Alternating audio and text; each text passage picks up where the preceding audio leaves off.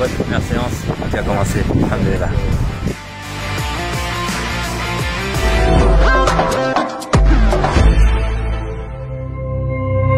زير تيوب أول قناة إلكترونية في الجزائر